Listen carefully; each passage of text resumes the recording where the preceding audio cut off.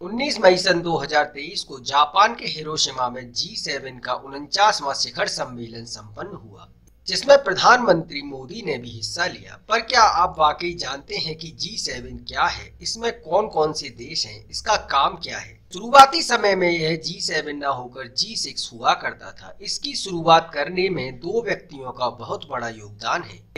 जिनमें फ्रांस के राष्ट्रपति वालेरी गिस्गार्ड डी स्टाइन और दूसरे उस समय के वेस्टर्न जर्मनी के चांसलर हेलमुट शिमिट थे। इसकी शुरुआत सन 1975 में हुई थी। उस समय इसे विश्व आर्थिक शिखर सम्मेलन कहा गया। शुरुआत में इसमें Germany, France, Great Britain, Italy, Japan और अमेरिका शामिल थे। इसे उस समय जी सिक्स का नाम दिया गया। इसमें हर वर्ष अलग अलग देशों में मीटिंग करके अलग अलग समस्याओं का समाधान ढूंढा जाता है। जी सेवन का एक परमानेंट मुख्यालय नहीं है, इसमें आगे चलकर कनाडा भी शामिल हुआ। जी सिक्स के प्रारंभ होने का कारण सन 1975 से पहले दुनिया की अर्थव्यवस्था में दो बड़े संकट थे।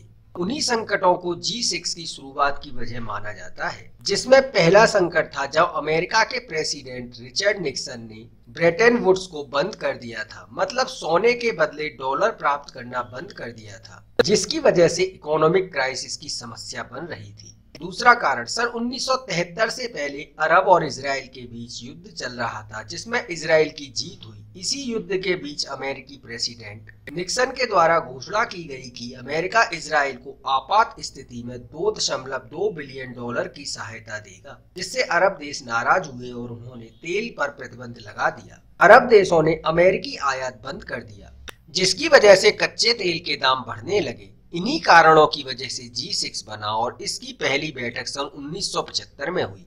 सन 1976 में जी सिक्स में कनाडा शामिल हुआ और फिर जी सेवन कहलाया। सन उन्नीस में बर्मिंगम शिखर सम्मेलन में रूस इसका सदस्य बना और फिर यह जी एट कहलाया। इसके बाद सन 2014 में जब रूस ने यूक्रेन पर हमला किया और क्रीमिया को रशिया में मिला लिया, जिससे जी एट से रशिया को हटा दिया गया और यह संगठन फिर जी सेवन बन गया। इसका शिखर सम्मेलन सभी सदस्य देशों में बारी बारी से होता है। जी सेवन में जो देश हैं, उनकी जीडीपी विश्व की जीडीपी की लगभग 31 प्रतिशत है। सन 2022 के शिखर सम्मेलन में एड्स, मलेरिया इत्यादि जैसी बीमारियों से लड़ने के लिए अलग अलग देशों को आर्थिक सहायता दी गई। सन 2015 में यूनाइटेड किंगडम ने ग्लोबल अपोलो प्रोग्राम को बढ़ाया, जिसमें ऊर्जा अनुसंधान और डेवलपमेंट के आधार पर जलवायु परिवर्तन से निपटने के लिए बनाया गया। इसमें जो विकसित देश है, वह अपने लाभ के लिए काम करते हैं। जी सेवन में यूरोपियन यूनियन का प्रभाव बहुत ज़्यादा है।